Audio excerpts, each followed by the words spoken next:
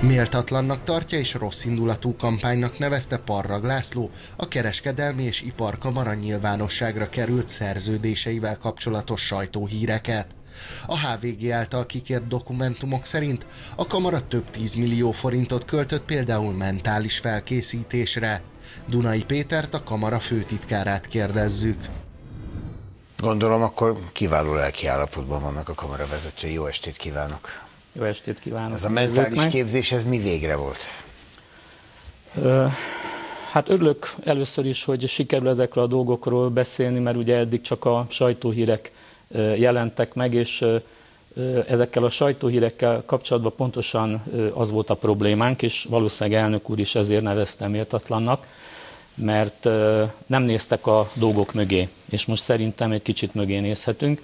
Egyébként az, hogy a HVG megszerezte a 2 millió forint feletti szerződéseket, hát ez nem egy olyan nagy bravúr, mert közérdekű adatigénylés keretébe kérték ki, és egyébként, mint kamara, aki közpénzzel gazdálkodik, egyébként is kötelezettek vagyunk arra, hogy az 5 millió forint feletti szerződéseket közzétegyük. Ezt én is így gondolom, de akkor miért mondja méltatlannak, ez, hogy a sajtó ezzel ez megtalálható a honlapunkon. Az, azért mondtam méltatlannak, mert tendenciózusan úgy vannak beállítva az állítások, és olyan tételeket ragadtak ki belőle, ami azt sugalja, mintha mi herdálnánk a vállalkozók befizetéseit, hiszen ez a cikk is egy olyan kampánynak a része, hogy így mondjam, ami folyik egy ideje, hogy tulajdonképpen miért is kell fizetni a vállalkozásoknak az 5000 forint kamarai hozzájárulást, erre is vissza fogok majd térni.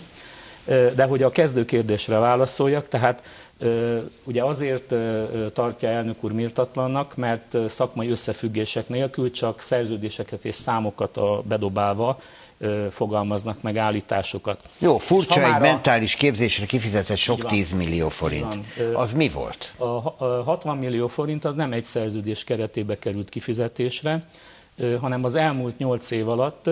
Ehhez tudni kell, hogy 2010 óta a Magyar Kereskedelmi és Iparkamara feladatai közé tartozik, a szakképzés keretén belül az országos szakmai versenyek lebonyolítása, valamint a nemzetközi versenyeken, tehát az európai és a világversenyeken a magyar versenyzők felkészítése és szerepeltetése. Na most én úgy gondolom, hogy ha... Mondjon, azt... egy, mondjon egy, egy, egy szakmát például. Ezek a, ezek a kétkezi szakmák, tehát asztalos, ács, kozmetikus, fodrász. És akkor egy kozmetikus hölgy mentális képzést kap, mielőtt elindul a versenyen? Ez a szakmák olimpiája, így is hívják. Ha egy magyar sportolót ki akarnak küldeni egy olimpiára, akkor nem csak tréningeznie kell, biztos, hogy ő is kap mentális felkészítést. De az egy 20 éves folyamat. Ez rövidebb, hiszen itt gyakorlatilag a gyerekek, akik ezen indulnak, elég rövid az az időszak, amíg egyáltalán szerepelhetnek ezeken a versenyeken, hiszen van felső korhatár, de rögtön az elején látszott az, hogy amellett, hogy egy jó tréner mellett a szakmát el tudják sajátítani, ahhoz, hogy bírják azt a feszültséget, hogy egy világversenyen eredményesen szerepeljenek, egyéb felkészítésre is szükség. Itt hány gyerekről van szó? Nagyon sok gyerekről van szó. Mondjuk São Paulo-ba mennyien mentek Brazíliába? A São Paulo-ba úgy emlékszem, hogy 11 néhány gyereket vittünk a felkészítő tanárokkal, nem vittünk, mert én nem voltam ott, tehát annyian mentek ki Mekkora volt az a delegáció? Tessék? Mekkora volt a delegáció? Tehát hány versenyzőre, majdnem azt mondtam, hogy sportolóra, hány kísérő jut? Ö, ö, a, ugyanannyi felkészítő, mint amennyi versenyző, és hát gyakorlatilag a, a delegáció vezető, illetve állami emberek is voltak ott, de hát nyilván az ő útjukat nem mi fizettük. Tehát amit kiszerkeztettek, hogy 14 millió forintba került a repülőjegy. 18 és fél. Tessék? 18 és fél. 18 és fél millióba, ez nyilván azzal magyarázható, hogy távoli versenyhelyszínen került ez megrendezésre, de volt ilyen Göteborgban is, a Euroskill, meg később a Abu Dhabiban, tehát gyakorlatilag, mivel ezt a feladatot megkaptuk, és erre a finanszírozást is megkapjuk, ez nem a vállalkozók pénzéből történik, ez a szakképzési feladatrendszernek a része, és én úgy gondolom, hogy az eléggé önkényesen vannak kiragadva ebből ezek a tételek. Hát van ilyen furcsa tétel, mire kellett 327,5 millió forintot reklámkampányra költeni a kamarának? Ezt meg tudja mondani egyébként? Hogyne. 2014-ben elnyertünk egy olyan Európai Uniós forrásból finanszírozott programot, aminek az a munkacíme, hogy modern, vállalk, modern vállalkozások programja. ami gyakorlatilag egy infokommunikációs szemléletformálás, és az a célja, hogy a kis és középvállalkozók minél szélesebb körben használják a digitális technológiákat, hiszen erre megy a világ. Erre kaptak pénzt? Erre kaptunk több milliárd forintot, és keretemeléssel most már nagyjából 6 milliárdnál járunk. Amit Miért kellett ezt külön 327 milliót költeni reklámra? Mert ennyi volt előírva, így hagyták jóvá ezt a projektet, azért, hogy kellő ismertsége legyen, ne csak a vállalkozói körökben, hanem a közmédiában is kapjanak felületet ezek a programok. Ehhez gyakorlatilag a költségek 5%-a nem hiszem, hogy egy olyan brutális költség. Átütően sikeres volt a kampány? Ez a kampány én úgy gondolom, hogy átütően sikeres volt, mert az első két-három évben sikerült azokat az indikátorokat teljesíteni, amelyek a program végéig elő voltak írva, ami azt jelenti, hogy közel 15 ezer vállalkozót értek el a munkatársaink, akiket egy ilyen digitális felkészítési programon vittek végig, és adtak ki részükre digitálisan felkészült vállalkozás minősítést, és ez, ők közülük nagyon sokan eredménnyel pályáztak egy másik ginopos pályázatból digitális technológiák beszerzésére. Amíg két tételre nyúzom, aztán ezt, ezt a dolgot elengedem, mert tényleg nincs értelme végigmennünk az egészen, az összkép igazából az, ami meglepő. Mondja meg nekem, hogy VR szettek, szerintem a nézők nagy része nem is tudja mi az, beszerzésére miért kellett 18,6 millió forintot költeni? Ezek olyan speciális eszközök, ilyen ö, ö, vizuális szemüvegek, amiknek a virtuális, a, virtuális szemű, így van, aminek a, amelyeknek az alkalmazásával ö, a gyerekeknek a pályaválasztási tanácsadás keretében ö, ö, játékos formába meg lehet tanítani bizonyos szakmáknak az alapfogásait. 18,5 millió forintért? Hát ezek drága eszközök. Hát drágák drága eszközök, és ez nem egy szakmát jelent. Első körben négy szakmára vásároltunk ilyen eszközöket. Én nem gondolom, mit, hogy ezek... Mit látnak a gyerekek, ha felveszik ezt a virtuális szemüveget? Ehhez szoftver is tartozik, tehát gyakorlatilag egy gépkocsi szerelést vagy építőipari műveleteket egy ilyen virtuális szemüvegen keresztül és megfelelő segédeszközök használatával tudnak szimulálni.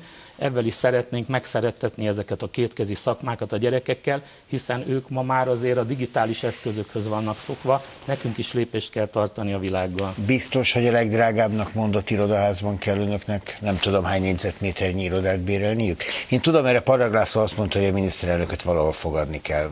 Én nem Biztosan. Hiszem, en, en, en, ennél, ennek ennél azért több oka is van, ez csak egy tényező. Én nem tudom, szerkesztő úr mennyire emlékszik, hogy mi a Kossuth irodaházból költöztünk el 2013-ban, igen méltatlan körülmények közül azt a házat le is bontották, egyébként ott is csak bérlők voltunk, és akkor nagyon kedvező feltételekkel sikerült beköltöznünk. Ott több mint 3000 négyzetmétert bérelünk, és ez nem új hír, ami megjelent most a HVG-ben, hogy 150 millió forint bérleti díjat fizetünk, hiszen ez már 2013-ban De nem is megjelent. Nézze, 3000 négyzetméteren, ahol olyan körülményeket kell teremteni, hogy nemzetközi delegációkat tudjunk fogadni, kultúrát körülmények között tudjunk rendezvényeket lebonyolítani. Én azért járom a világot, gondolom önök is, bár nyilván a kamarákkal nem foglalkoznak. El kell, nem hogy mondjam, hogy azokban az országokban, ahol a kamarát komolyan veszik, a kormányzat részéről és a vállalkozók részéről is, ott körülbelül ilyen színvonalú infrastruktúrában működnek, és én nem hiszem, hogy ezt nekünk szégyelni kellene. Na, hát akkor az első nem, nem az első, de mondjuk a második, harmadik megjegyzésen mondta, hogy majd ezt kifejtik. Az 5000 Az 5000. Ugye ezt azért is nem értik az emberek, a vállalkozók, mert hogy látszólag semmit nem kapnak az 5000 forintért, és most már úgy is hírlik, mert Paraglászlótól tudjuk, hogy ez nem is egy ilyen kötelező tagdíj, hanem egy regisztrációs díj, amit értelmezni sem tudok, mert azt egyszer kéne befizetni, és nem újra és újra. Akkor még inkább megpróbálom megvilágítani, Köszönöm. mert ez sem. 2012-től érvényes kétfajta kötelezettség a vállalkozók számára. Az egyik a regisztráció, ez egy nyilvántartásba vételi kötelezettség, hogy adatokat kell szolgáltatniuk magukról. Ez egy egyszerű kötelezettség. Ehhez semmi köze az 5000 forintnak, tehát Mondja nem, is regisztrációs is díj, majd. nem is regisztrációs díj, úgy hívják, hogy kamarai hozzájárulás, és ez a kamarai 5000 forint kamarai hozzájárulás, ez a vállalkozások hozzájárulása a kamarai közfeladatok ellátásához. De mit kapnak a vállalkozások amelyhez, önöktől? Amelyhez egyébként az állam is nagy mértékben hozzájárul. Az nagyon helyes. Mit kapnak a vállalkozások önöktől ezért az 5000 vagy a, a tagságért? Ezeket az, aztán ezen kívül van a tagság, mert e, ugye a, a regisztráció az egy alapkötelezettség, de ezen túl lehetősége van a vállalkozásnak kamarai taggá válni és tagdíjat fizetni, nyilván ez többletjogosultságokkal jár de ezt az 5000 forintot a vállalkozások a területi kamaráknak fizetik be, és ott kapnak rendkívül széleskörű szolgáltatásokat, információban, rendezvényeken való részvétel lehetőséget. Jó, most nyilván nem a pandémiás időszakról beszélek, hanem amikor lehet ilyeneket tartani. Gyakorlatilag a pénznek a 90%-a a területi kamaráknál kerül felhasználásra, az országos kamarában ennek mindössze 10%-a kerül, és hát ez igen elenyésző részét képviseli az MKIK költségvetésének, hiszen mi az állami támogatások okán főként azoknak a közfeladatoknak az ellátásában kell, hogy feladatokat végezzünk, mint amit említettem, a szakképzés, illetve a békéltető testületek működtetése és egyebek. Na akkor mégiscsak releváns az a kérdés, amit Parag László kapott, hogyha olyan könnyedén az önkormányzatok adóbevételéről le lehetett mondani, meg egy csomó mindent javasolt Parag László, amiről mások lemondhatnak, akkor a Kamara miért nem mondta azt, különösen a költségvetésének töredéke, hogy jó, amíg járvány van, ezt az 5000-et sem kell befizetni. Mi ezzel tudunk hozzájárulni. Nem lehet összehasonlítani a két rendszer finanszírozásához, hiszen az iparűzési adó összege az 840 milliárd forint. Igaz, hogy ebből nagyon sok önkormányzat működik, a kamara pedig ebből az 5000 forintból mindössze 4 milliárdot szed be. Na, látja, éppen ha, ezt kivesszük, ha ezt kivesszük, akkor kivesszük a kamarai rendszer alól a működési feltételeket. Most mondta, hogy ez a töredéke a, a nálunk, bevételeknek. Nálunk azok az 500 forintok, amit a területi kamarák hozzánk befizetnek, de az 5000 forint eltörlésével egyszerűen pénzügyileg olyan mértékben megbicsaklana a teljes kamarai rendszer, hogy nem tudná ellátni. Önök nem tudnák kompenzálni a területi kamaráknak? Bocsánat, nem értem. Önök nem tudnak kompenzálni Miből? ezeket az 5000, hát az államtól kapott apanásból. Hát, hát hogyha állam... annyira kevés része ennek Az a... államtól kapott apanás célfeladatok megvalósítására kapjuk, azt kizárólag arra használhatjuk. Ez egyébként filozófia kérdése, hogy ki mit hol fizettet meg.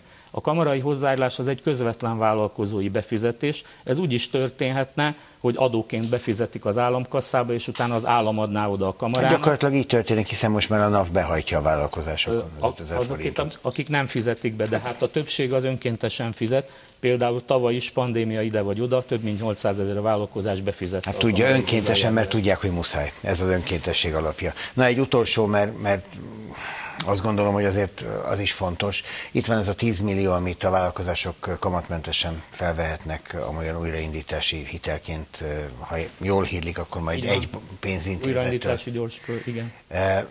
Ezzel kapcsolatosan felmerült egy olyan ötlet, hogy ezt kiterjesztenék. Többféle vállalkozásra, több területre érvényesítve és több hullámban adva. Erre, ezzel mi az álláspontjuk önöknek és a kormánynak? Ebben komoly egyeztetések voltak a kormánya, mi úgy láttuk, hogy ez az első 100 milliárdos csomag, és mi ennek is tekintjük, ez gyakorlatilag arra lesz elegendő, hogy azokban az ágazatokban segítsen a vállalkozásoknak, amelyek kényszer okán nem tudnak működni. Turizmus, Tehát, ahol, ahol be kellett zárni, nem lehetett kinyitni, és egyéb kapcsolódó területek. Meglátjuk, hogy ez hány vállalkozásnak lesz elég, és ezért is hangsúlyoztuk, de ebben nyitottság van a kormányzat részéről, hogy ha ez a 100 milliárd nagyon gyorsan elfogy, akkor további 100 milliárd, vagy még egy harmadik 100 milliárdos csomagra is szükség van, hogy azokban az ágazatokban is tudjunk segíteni a vállalkozásoknak, ahol ugyan nem lehetetlenül el a működés, de a gazdaság visszaesése miatt jelentős árbevétel. Tőlük kell majd igazolást hoznia annak, aki tárgyal erről, vagy elfogadják bemondásra, hogy szükségük van rá? Hát ez nem bemondásra működik, hanem ugyanúgy kell igényelni, mint egy hitelt. Nyilván azt kell igazolni, hogy teáor szám szerint az a fő tevékenysége, amelyet megillet egy ilyen támogatás. Ezen kívül azért elvárható, hogy a 19-es üzemi eredménye pozitív legyen, ami még nem a válságé volt, és hát nyilván egy felső határt is kell szabni, mert ahol alacsonyabb volt az árbevétel, ott azért nyilván nem lehet 10 millió forintot felvenni. Köszönöm szépen a részletes tájékoztatást, sok-sok mindenről beszéltünk. Köszönöm.